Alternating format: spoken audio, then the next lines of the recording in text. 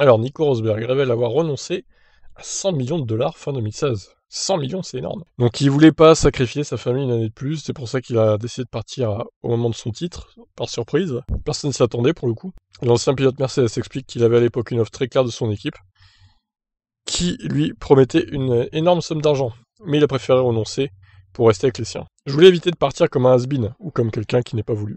Déclaré Rosberg au Time Magazine veut dire il y avait 100 millions de dollars sur la table auquel j'ai renoncé. Alors 100 millions, on peut penser que c'était sur 3 ans hein, minimum. 33 millions par an. Ça me paraît euh, être, logique. Je recherchais un différent mode de vie, vous n'avez pas de flexibilité quand vous courez. C'était la meilleure décision pour ma famille, je n'ai pas pensé une seule seconde à l'aspect financier.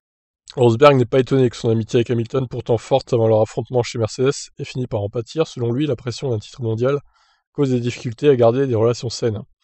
C'est pour ça que ça a fini par casser, il y avait trop en jeu. Ils commencent à se battre de plus en plus et finissent par casser car il y a trop d'argent, trop de reconnaissance en jeu. Il se souvient d'une guerre ouverte dans l'équipe, mais aussi dans les tribunes. Il y avait deux camps, le camp Rosberg et les fans d'Hamilton.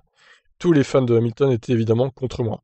Une fois, il y avait des fillettes de 4 ans devant moi avec leur père.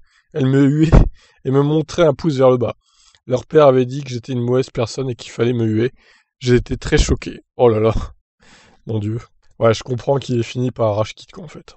Bon, bah, c'est tout à son honneur. Hein. Il y avait 100 millions en jeu sur 3 ans, sûrement. Donc on pensait qu'il serait resté au moins euh, jusqu'à fin 2019.